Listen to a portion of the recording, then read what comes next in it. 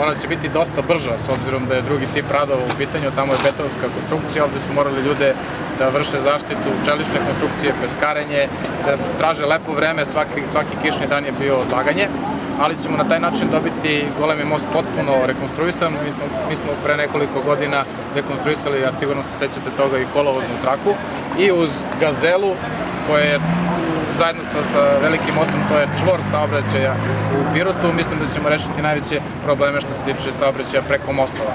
Nadam se da ćemo konačno doći do ugovora za drugi ring, s obzirom da tu postoji posebna procedura žalba izveđača, to vodi nadležno ministarstvo, ali to je jednostavno proces koji traje. Kada dođemo do ugovora za drugi ring, očekujem da u 2015. bude sagrađen i taj most na drugom ringu, tako da će Pirot koji je nekad imao probleme sa prelaskom saobraćaja preko mostova biti, e, da ne kažem savršeno, ali odlično rešen bar tim mostovima koji će biti izgrađeni i ovima koji su rekonstruisani.